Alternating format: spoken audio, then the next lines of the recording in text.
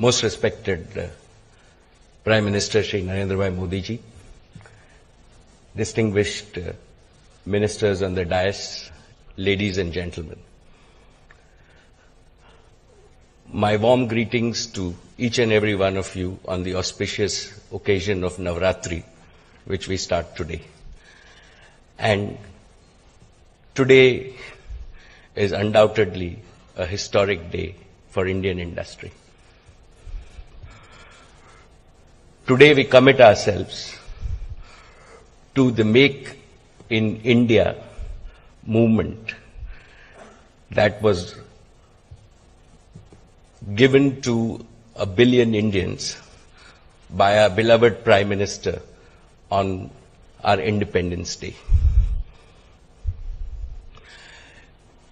India as a country is blessed with a leader as our Prime Minister, Sri Narendra Bhai Modi, who not only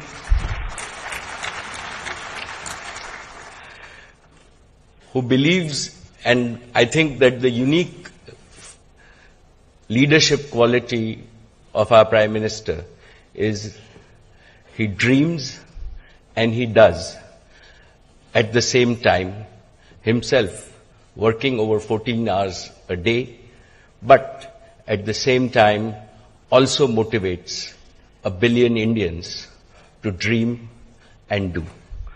Thank you, Mr. Prime, uh, Prime Minister, sir, for your vision for Make in India. It has inspired everybody in India. What strikes me the most about Make in India is typical to your style. Made is always in the past. Make is about the present and the future. Make is for all Indians and the world. And you have focused Indian industry and Indians on the present and the future. Important for us to succeed in the Make in India process is global competitiveness. And what better inspiration can all of us get than the achievements of the Indian scientists on the Mars orbiter mission?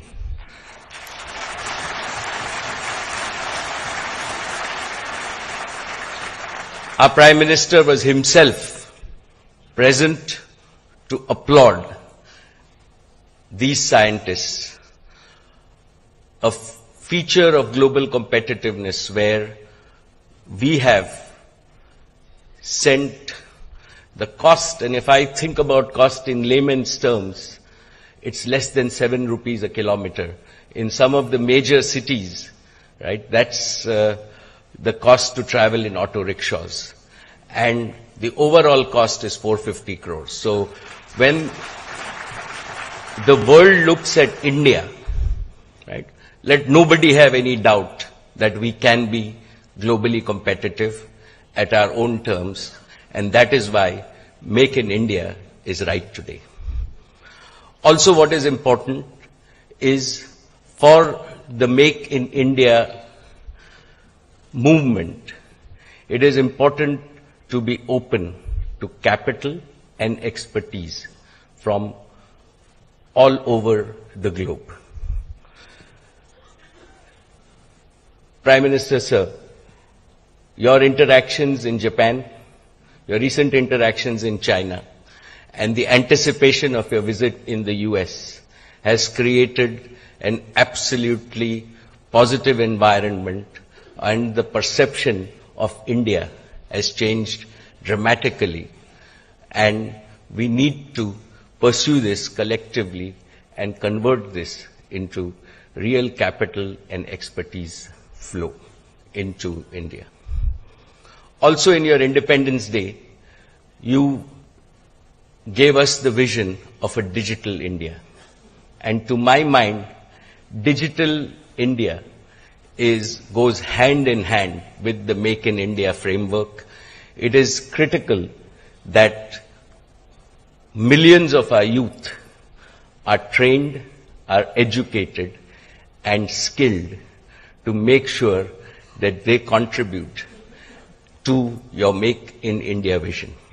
It is also critical that we connect cluster of our villages to not only markets in India, but to markets globally by building the physical infrastructure and the virtual infrastructure so that all our goods and services are connected to all markets.